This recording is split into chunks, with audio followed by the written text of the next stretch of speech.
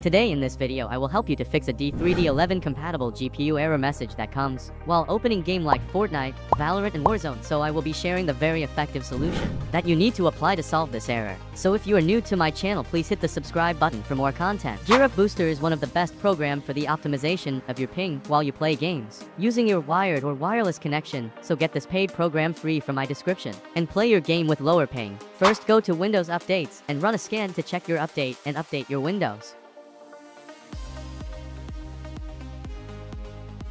Now go to this PC properties and create a virtual RAM in your PC to fix this error.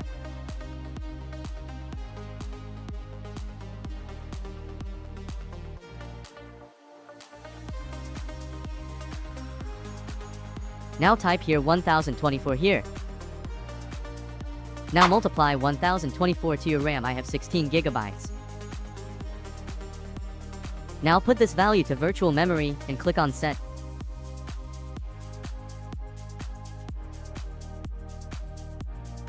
Now go to graphics setting and turn on GPU option and set your game on high performance.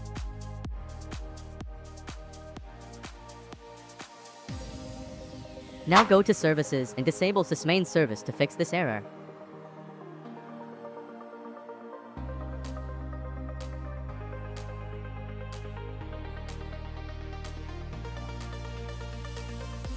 Download the D3D11 error fix pack from my website I give link in description.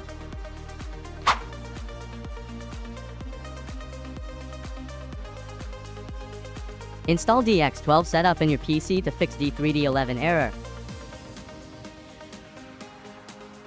Also install DX11 setup in your PC to fix D3D11 error.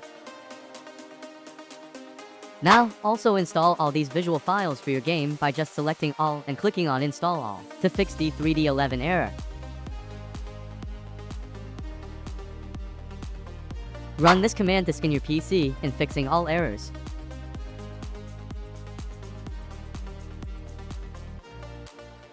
After completing this just launch your game.